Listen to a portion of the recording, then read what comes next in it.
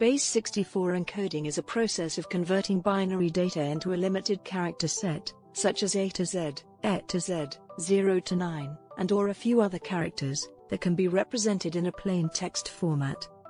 This is useful when binary data needs to be stored or transferred as text, such as in email attachments or JSON data. There are many advantages of using base 64 encoding. It is widely supported, base 64 encoding is a widely used standard and is supported by many programming languages, libraries, and frameworks.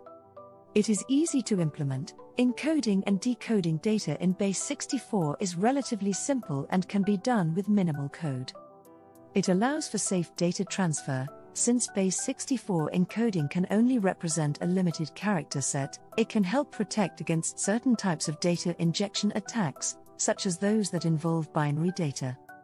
It allows storing binary data in a text format, Many systems and applications are only capable of handling text data, so base 64 encoding is a way to store binary data in a text format that can be easily stored, transmitted, and processed by these systems. It allows for the inclusion of binary data in text based protocols or formats. Some protocols and formats, such as email and HTTP, are primarily text based. Base 64 encoding can be used to include binary data in these types of protocols and formats, without having to worry about the underlying binary data being misinterpreted as text. There are also some disadvantages to using base 64 encoding. It increases data size, base 64 encoded data is about 33% larger than the original data, which can be an issue if storage space is limited or if the data needs to be transmitted over a limited bandwidth network. It is not an encryption method, base 64 encoding does not provide any encryption or confidentiality for the data. If confidentiality is a concern, the data should be encrypted before being encoded in base 64. Base 64 encoding is less efficient than other binary to text encoding methods such as ASCII 85. Base 64 encoding can be vulnerable to certain types of attacks if not implemented properly. Any type of binary data can be converted to base 64.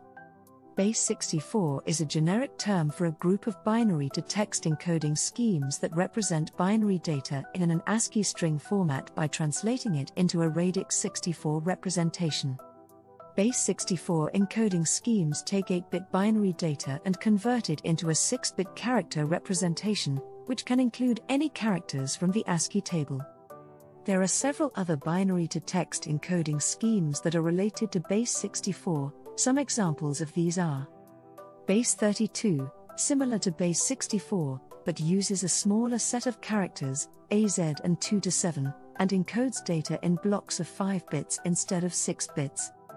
This results in a smaller encoded output than base 64, but also a less compact representation. Base 16 or hexadecimal encodes binary data into ASCII characters using a representation of 4 bits per character, 0 to 9, AF. This results in a larger encoded output than base 64 but is more compact than base 32. Base 85, developed by Adobe, uses a larger character set, ASCII characters, than base 64 and encodes data in blocks of 4 bytes at a time, resulting in a more compact representation, but also a more complex implementation. ASCII 85, similar to base 85, but uses a more dense character set and can be more compact than base 64. Thanks for watching. Please like and subscribe.